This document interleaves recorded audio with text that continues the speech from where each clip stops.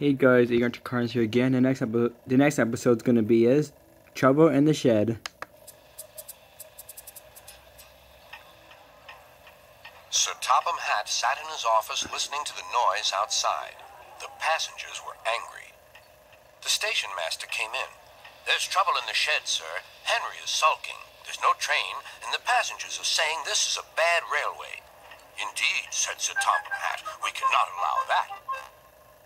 He found Gordon, James, and Henry looking very cross. Come along, Henry. It's time your train was ready. Henry's not going, said Gordon. We won't shunt like little tank engines. That was Thomas's job.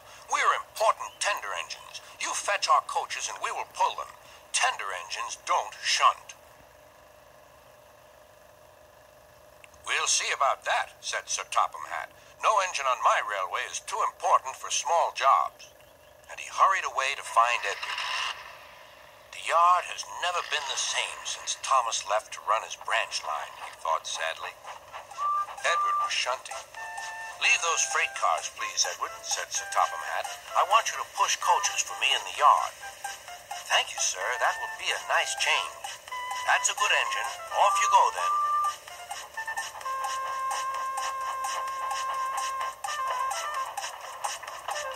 So Edward found coaches for the three engines, and that day the trains ran as usual.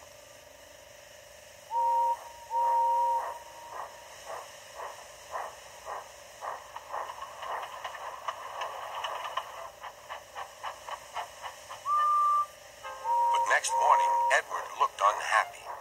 Gordon came clanking past, hissing rudely. Bless me, said Sir Topham Hatt. What a noise! They all hiss me, sir, answered Edward. They say tender engines don't shunt, and last night they said I have gray wheels. I haven't, have I, sir? No, Edward. You have nice blue ones, and I'm proud of you. Tender engines do shunt, but all the same, we do need another tank engine here. He went to a workshop, and they showed him all sorts of engines.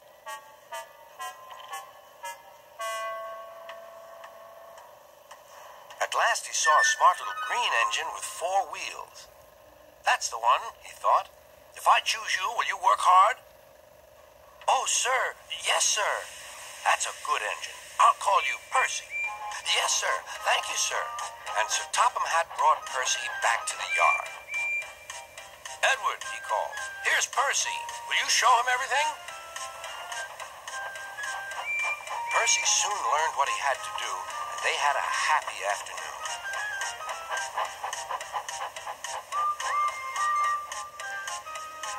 Then Henry came by, hissing as usual.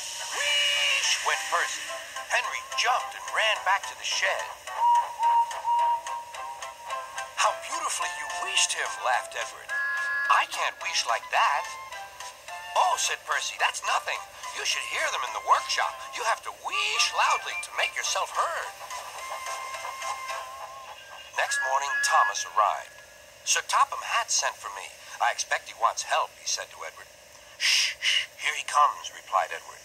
Well done, Thomas. You've been quick. Listen, Henry Gordon and James are sulking. They say they won't shunt like little tank engines. So I have shut them up, and I want you both to run the line for a while. Little tank engines indeed, snorted Thomas. We'll show them. And Percy will help too. Oh, sir. Yes, sir. Please, sir, answered Percy. Edward and Thomas worked the main line, greeting each other as they passed by. Percy puffed along the branch line.